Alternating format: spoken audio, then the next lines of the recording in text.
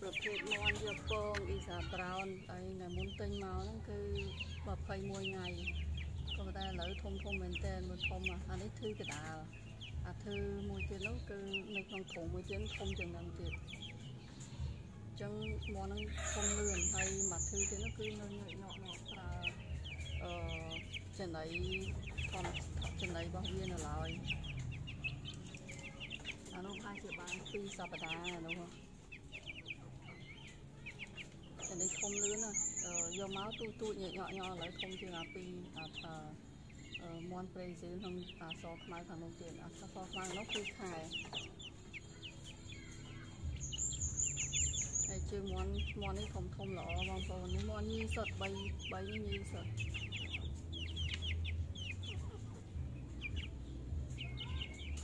យកឈ្មោះមកតែមួយទេឈ្មោះនៅក្នុងត្រង់មួយទៀត យើងធ្វើជាងនេះដោយសារតែវាស៊ីច្រើនហើយវាធំលឿនចឹងដាក់ចូលគ្នាវាចាក់គ្នាចឹងដាក់មកទ្រុង2មកទ្រុង3ហើយមនុស្សទ្រុង1តែឯងសារមានពីខំពីចាក់ slow ជាងគេមេធំតែ slow ជាងគេ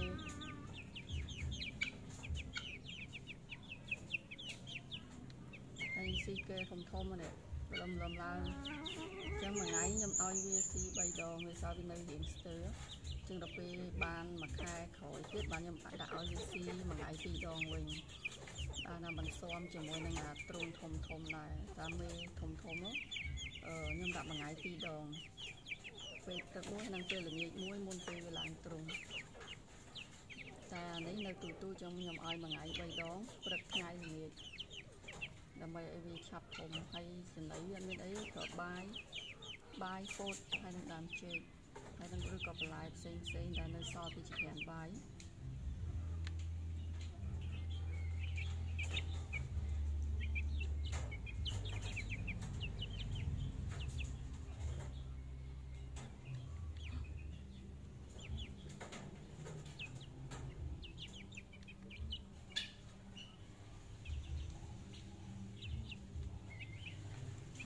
ហើយមានសុខភាពល្អបងប្អូន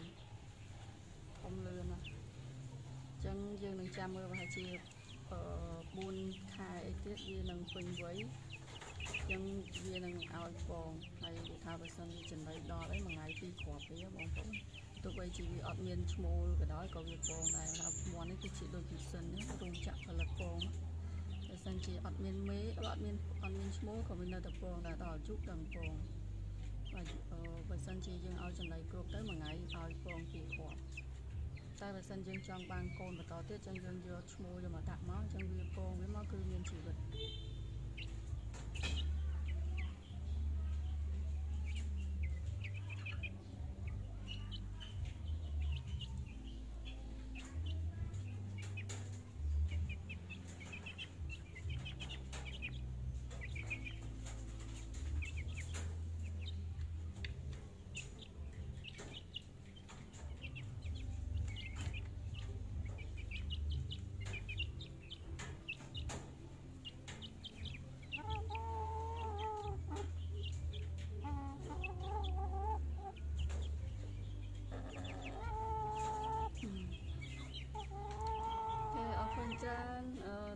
ងទៅមើលទ្រុងតូចតូចវិញម្ដងអាញាក់ញក់រយៈពេល2អាទិត្យនោះវិញម្ដងអូ